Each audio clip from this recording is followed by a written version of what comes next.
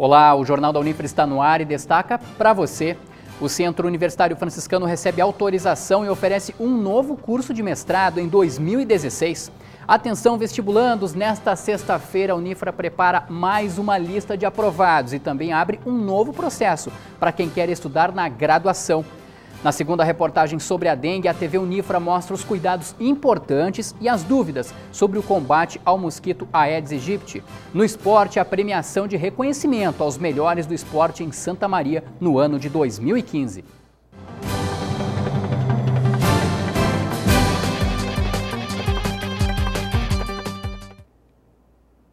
O Jornal da Unifra desta quinta-feira começa com uma importante notícia para quem deseja fazer um mestrado na área de saúde. O Centro Universitário Franciscano recebeu parecer favorável à implantação de mais uma pós-graduação por parte do Ministério da Educação. Quem tem mais detalhes sobre o assunto é o José Quintana Júnior. Olá, Quintana! Olá, Gereto. O Jornal da Unifra de hoje começa com uma grande notícia. O MEC deu parecer favorável para a abertura do mestrado da Ciência da Saúde e da Vida. E nós vamos conversar com a nossa pró-reitora de pós-graduação, pesquisa e extensão, professora Solange Fagão, para falar sobre essa grande notícia nessa semana e já sobre a abertura do edital na próxima semana, professor. Sim, é um, um grande momento para a instituição, até porque é uma, vaga, é uma vaga que está sendo aberta em uma área que tinha uma grande expectativa há muito tempo, que é as ciências da saúde, e culmina também com o trabalho de vários anos que a gente tem com o corpo docente, com professores, com a própria direção da instituição em busca desse mestrado acadêmico na área das ciências da saúde e da vida. Esse mestrado terá o foco basicamente para que curso? Quem poderá concorrer então a estas vagas? São profissionais e acadêmicos, alunos egressos também da própria instituição, de toda a área da saúde, então desde enfermagem, medicina, farmácia, biomedicina, nutrição, área de psicologia. Então, pessoas que têm interesse em desenvolver projetos nessas áreas da saúde. E lembrando também, pessoal, que está em período de abertura de inscrições, que vai até fevereiro, todas as outras especializações da nossa instituição, né, professor? Sim, nós estamos com esse curso, uh, com cinco mestrados agora sendo ofertados, esse curso aprovado, provavelmente o edital sairá na próxima semana, as inscrições também irão até fevereiro, e também dois cursos de doutorado, além de todo um hall de especializações, são 21 cursos que estão com inscrições abertas. Maravilha, muito obrigado, Obrigada. professora. Lembrando que as informações, mais informações, podem ser obtidas no site unifra.br. Voltamos contigo, Gereta. Ok, Quintana. Olha, a gente tem outras duas informações para quem quer fazer parte dos cursos de graduação do Centro Universitário Franciscano em 2016. Hein? Nesta sexta-feira, a, coordenador, a Coordenadoria de Seleção e Ingresso divulga duas novidades em relação aos vestibulantes e também a quem não conseguiu aprovação em outros processos seletivos de outras universidades. Mais uma vez, quem tem os detalhes destas importantes informações é o José Quintana Júnior, que vai acabar logo com esse suspense, Quintana. Jareta, depois da primeira semana de matrículas, sabe o que vem por aí? A segunda chamada do vestibular de verão do Centro Universitário Franciscano. Quem ficou entre os suplentes está na expectativa de ser chamado. O horário que será divulgado dessa segunda chamada. Bom, para quem quiser acompanhar a segunda chamada, o horário estará disponível hoje, nessa, até o fim dessa quinta-feira, no site unifra.br. Importante ressaltar que o que estará até o fim dessa quinta-feira é o horário que será divulgada essa segunda chamada e não, logicamente, a segunda chamada. Outra notícia importante para sexta-feira é que será divulgado o edital do extra vestibular. As vagas disponíveis e também os cursos que serão ofertados estarão disponíveis, lógico, neste edital. Quem pode participar é quem realizou vestibular no Centro Universitário Franciscano ou em qualquer outra instituição de ensino superior ou realizou a prova do Enem nos anos de 2014 e 2015. Bom, então, Gereta, quem quer cursar o ensino superior em 2016 aqui no Centro Universitário Franciscano, essa sexta-feira é muito importante. Seja para quem realizou o vestibular, está na expectativa desta segunda chamada, seja para quem vai realizar o processo do extra vestibular. Voltamos contigo. Valeu, Quintana. Muito obrigado pelas informações. Exatamente, que sexta-feira de expectativa, né? Olha, a seguir o Jornal da Unifra traz informações para você que deseja abrir o próprio negócio no ano que vem. Um minuto e estaremos de volta.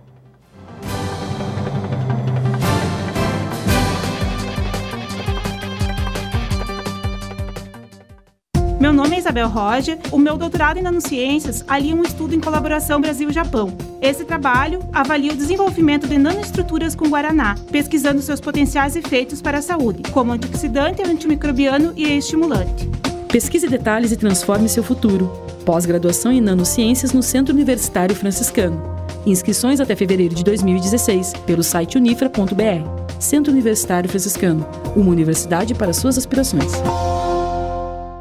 Há 60 anos, o Centro Universitário Franciscano foi a instituição pioneira a implementar o ensino superior em Santa Maria e na região central do estado, com as licenciaturas e a formação de enfermeiros. Hoje, oferece 33 cursos de graduação, além dos cursos de especialização, mestrado e doutorado, se tornando referência na formação de profissionais de qualidade para o mercado de trabalho, transformando sonhos em oportunidade. Centro Universitário Franciscano, uma universidade para suas aspirações.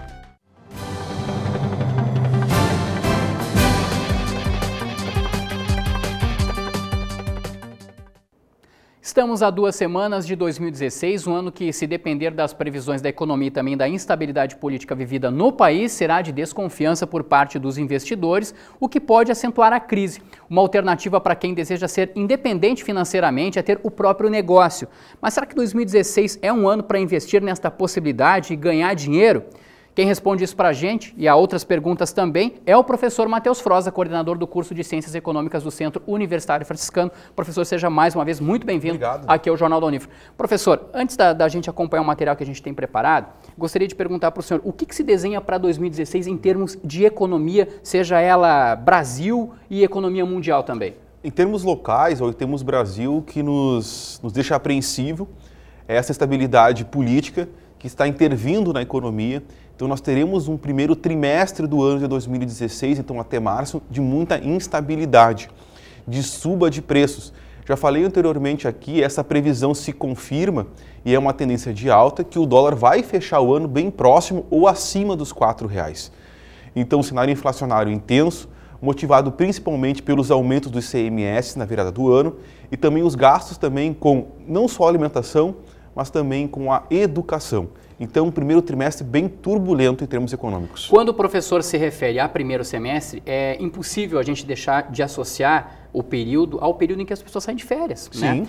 Qual é a dica? O pessoal deve, de repente, diminuir então o período de férias, não deve Sim. investir tanto? O que, que deve fazer? Provavelmente já demonstra isso. Até recentemente estava pesquisando até no nosso litoral gaúcho. A quantidade de imóveis para alocação já é gritante o aumento de um ano para outro e a tendência é que é uma readaptação das pessoas em termos de férias.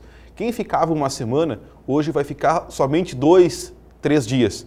Então, até os aluguéis ocorreu uma flexibilização de tempo. Eu não alugo mais sete dias. Eu estou alugando também a diária agora do mínimo de três dias.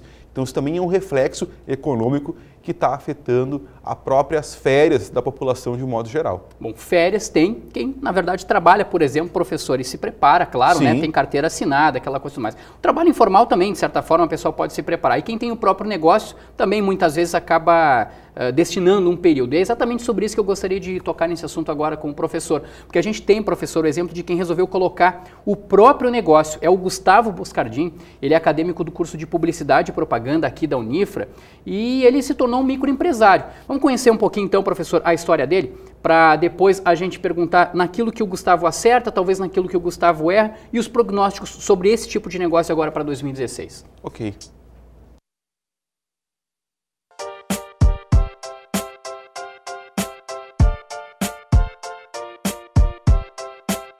Eu sempre gostei do skate.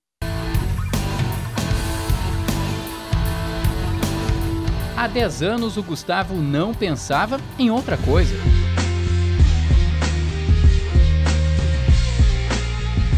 Queria uh, seguir de alguma maneira uh, no mercado do skate.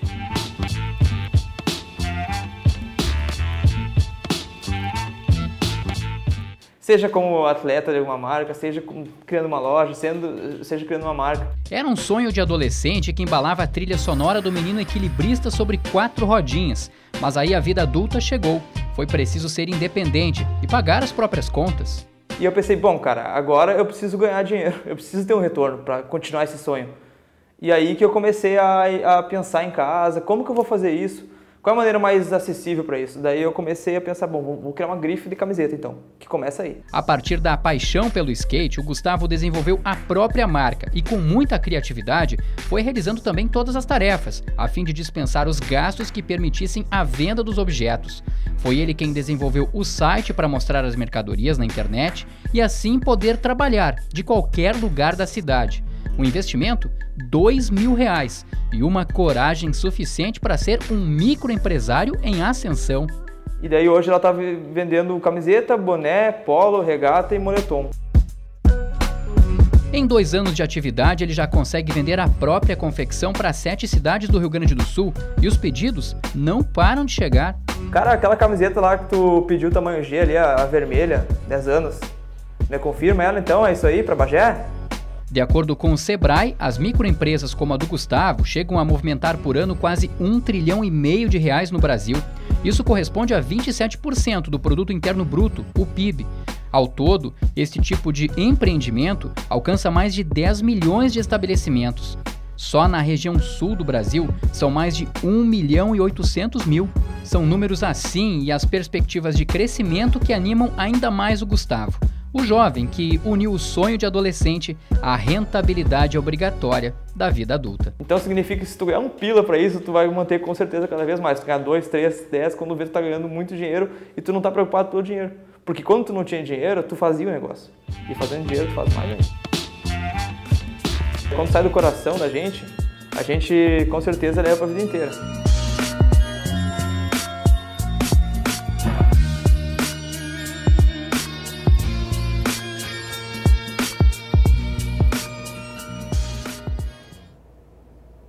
Professor Matheus, a gente percebe o entusiasmo, claro, do Gustavo, mas 2016 é um ano para colocar o próprio negócio como ele fez, ele fez lá em 2013, né? Já vai para ter, a terceira temporada, vamos dizer assim, agora em 2016. Uhum. Dá para repetir o exemplo do Gustavo agora em 2016? São períodos distintos de, em termos de análise. Eu acho que para 2016 eu tenho que intensificar o meu planejamento. No caso do Gustavo aqui, ele tem um mercado específico e uma segmentação definida, no caso o, o skate mas eu diversificar demais em termos de público, eu aumento também o meu risco também do meu próprio negócio. E isso envolve com certeza planejamento. Um exemplo bem simples, é, esses dois mil reais que ele tomou, talvez recursos próprios ou do banco, lá em 2013, hoje provavelmente esses dois mil seriam cinco talvez para iniciar o um negócio. Então eu tenho umas dificuldades hoje que talvez lá em 2013 eu não teria, principalmente em relação ao crédito, ao, tomador do crédito e também para acessar este mercado consumidor. A gente viu no exemplo dele também, professor, que o Gustavo utiliza a internet. Eu gostaria que o senhor explicasse, falasse para a gente também do quanto a internet pode ser importante para essa rede de negócios, vamos dizer assim. Sim. Porque me parece, e é o caso, por exemplo, também do, do Gustavo, disponibiliza aquela loja com área física, né, pagando aluguel, outros tipos de encargo e tudo mais. Eh, é uma maneira, de certa forma, positiva de se utilizar da internet. Sim, eu acho que a internet é um campo farto, mas ela requer sempre cada vez mais atualização. E atualização também requer investimento. Eu não tenho o espaço físico, eu não tenho talvez o espaço com impostos também, como o IPTU, como talvez o aluguel, luz, a minha estrutura é menor no online. Mas a minha atualização em termos de plataforma digital, ela tem que ser constante. Porque este consumidor online, ele é muito exigente ele sempre busca o time, ele quer receber o produto para o próximo dia Sim. após finalizar a compra. Então, este cuidado eu tenho que ter. O consumidor ele quer comprar online? Quer, mas ele quer receber no menor tempo possível. Tanto com a proximidade do Natal, as grandes lojas de varejo online estão limitando os seus pedidos até a próxima sexta-feira, dia 18. Porque para chegar o pedido a tempo, do dia 24 de dezembro. Senão o pessoal corre o risco de ficar sem presente, de na, ficar noite sem do, presente. na noite do Natal. Exatamente. Entra também do ponto de vista do cliente, do consumidor, a questão da credibilidade, né? Sim. De quem vende pela, pela internet. Agora, professor, duas dicas para quem eh, resolver colocar o próprio negócio e, e, e, no caso, são duas dicas assim. De jeito nenhum a, a pessoa pode fugir dessas duas dicas. A pessoa não pode fugir buscar a tua planilha financeira e colocar todos os, os gastos de viabilidade do negócio. Tu não pode fugir disso, nunca. Colocar o beabá, tudo que você vai gastar. Segunda dica, eu não posso criar nada ilegal. Eu vou ter que procurar sim o auxílio de um contador para abrir essa empresa, para recolher impostos e para dar nota fiscal. Tu não sobrevive hoje em termos de crédito e buscar crédito se não tiver uma empresa legalizada, seja ela física, seja ela online. Dois erros que jamais podem ser cometidos. Dois erros é estimar custos para baixo. Eu achar que vou gastar dois mil reais e vou gastar seis no final e não tenho recursos para isso. Outro erro comum, eu querer trabalhar na informalidade eu, eu acabo limitando a minha área de atuação e principalmente o meu mercado consumidor, que exige não só garantia em alguns casos, mas também procedência do produto. Apenas reforçando 2016, então é, é bom ter muita cautela antes de colocar o Cautela, acho que cautela é a palavra mais coerente. Vale esperar para 2017? Não, acho que não. Eu acho que nós temos que ser otimistas que o país se resolva em 2016. No primeiro trimestre ou no primeiro semestre, eu tenho uma solução para essa crise e para essa estabilidade política. Tá certo. Professor, muito obrigado pela participação aqui Até no Jornal a próxima. Até a próxima oportunidade. Olha, a seguir a segunda reportagem da TV Unifra sobre cuidados e prevenções ao mosquito Aedes aegypti, transmissor da dengue, da febre chikungunya e também da zika. Antes você acompanha a previsão do tempo para esta sexta-feira.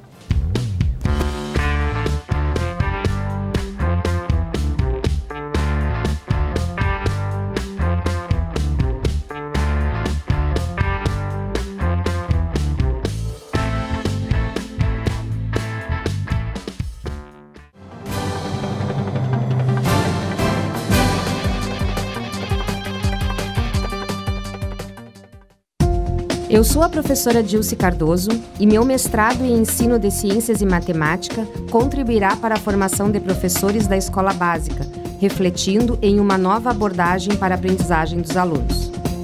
Pesquise detalhes e transforme seu futuro. Pós-graduação em ensino de ciências e matemática do Centro Universitário Franciscano. Inscrições até fevereiro de 2016 pelo site unifra.br. Centro Universitário Franciscano, uma universidade para suas aspirações.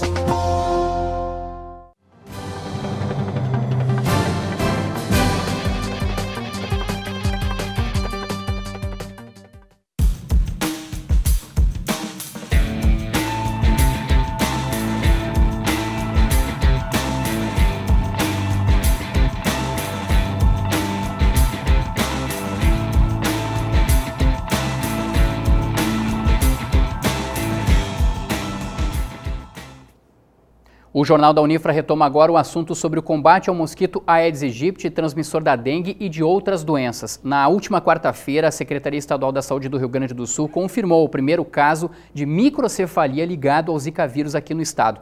O caso foi registrado em um bebê de 4 meses de idade, nascido na cidade de Esteio. Pois essa informação fez as autoridades em saúde redobrarem os cuidados no combate ao Aedes aegypti. Situação esta que na edição de quarta-feira o Jornal da Unifra mostrou o trabalho dos agentes de saúde aqui em Santa Maria. Desta vez, nós exibiremos os cuidados para evitar a proliferação do mosquito e alguns esclarecimentos de dúvidas quanto às formas de prevenção. Em Santa Maria não existem registros de casos de dengue autóctone, ou seja, quando a doença é contraída na cidade. Mas isto não é desculpa para descuidar da prevenção ao Aedes aegypti. Cláudia é moradora do bairro Nossa Senhora de Lourdes, um dos locais monitorados pelos agentes de saúde e vigilância ambiental do município, devido à incidência de focos do mosquito da dengue. A dona de casa está atenta e quer distância do mosquito transmissor. Não deixo juntar água nos, nos, nos pratinhos, né? Uh, não tenho planta aquática dentro de casa, nem lugar. Pneu, não tenho nada. Não tenho. Esses os cuidados. As medidas tomadas por Dona Cláudia são importantes, mas existem ainda outras ações, como, por exemplo, colocar areia nos pratos de vasos de flores, o que ajuda a evitar o acúmulo de água. Durante as visitas realizadas aos moradores, os agentes de saúde também repassam outras orientações cobrir qualquer objeto que possa acumular água, né? ou seja, caixas d'água, pneus em local coberto, ou se estiver uh, no tempo colocar uma lona por cima, né? Uh, limpar o pratinho dos animais uma vez por semana com uma esponja e limpar principalmente as bordas, tá? E esses são os cuidados básicos, são simples e objetivos. É preciso também atenção especial a um espaço destinado ao lazer em casas e condomínios, a piscina faça todo esse procedimento que deve ser feito, a questão do controle do pH, o uso de algicidas, a limpeza frequente e constante dela. E é muito comum você ter apenas o cuidado com as piscinas num período muito restrito do ano, que é nesse período de verão. E o mosquito hoje não tem mais uma relação exclusiva com o verão, são 365 dias. Quando o assunto é prevenção, surgem dúvidas sobre as medidas corretas. Uma delas é quanto às roupas colocadas de molho. Será que os recipientes podem se tornar focos do mosquito da dengue, mesmo com o uso de produtos de limpeza? A recomendação é aquela: deixe o menos tempo possível e elimine essa água. Mas sempre tome o cuidado de fazer a limpeza do recipiente, se for balde, se for bacia, na sua borda, porque é ali que o mosquito deposita os ovos, não é na lâmina d'água. Passe uma esponja, faça esse atrito, você destruiria esse ovo, porque ele tem uma capacidade de persistir no ambiente por 400 dias. E quanto aos repelentes, eles ajudam na prevenção?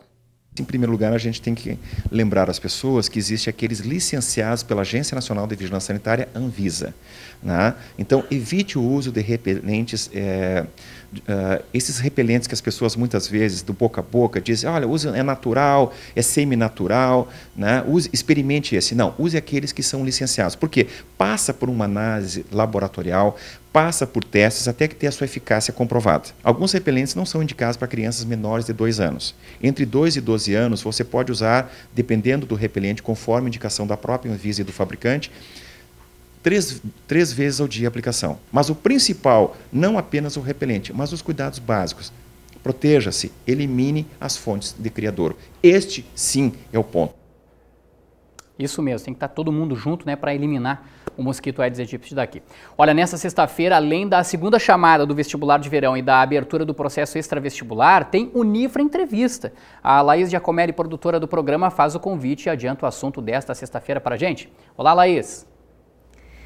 Olá, Jareta. O Unifra Entrevista desta semana traz o tema As Perspectivas para o ano de 2016. Quem conversa com a gente é o professor de Economia Matheus Froza. O Unifra Entrevista é nesta sexta-feira, às 6 horas da tarde. A gente espera por você, Rogério, e pelo pessoal de casa. Até mais! Até mais, Laís. Muito obrigado. Bom programa. Olha, fim de ano de reconhecimento aos destaques do esporte. A terceira edição do Prêmio Esporte Sul foi realizada no Conjunto 3 do Centro Universitário Franciscano na noite desta quarta-feira. Pelo terceiro ano consecutivo, o site Esporte Sul elegeu os melhores clubes e os atletas destaques que levam o nome de Santa Maria para o lugar mais alto do pódio. A gente acha importante a gente poder é, ter um contato mais próximo deles, sair de trás da tela do computador e promover esse encontro, promover essa homenagem. Então, nada melhor que no final do ano a gente tentar reunir os grandes destaques e mostrar para eles que por trás daquele computador, por trás daquela onde eles nos vê, onde a gente tem o contato, que é por trás de uma tela, de um desktop, um notebook, um telefone, um tablet, existem pessoas como eles e é a nossa oportunidade de se mostrar de mostrar para eles e mostrar que a gente está atento à evolução deles, está atento ao desempenho deles e quer ser um incentivador. Nesta edição, 32 categorias foram homenageadas. Os vencedores foram escolhidos pelos internautas e por meio de um júri especializado de 40 profissionais da comunicação e também do esporte.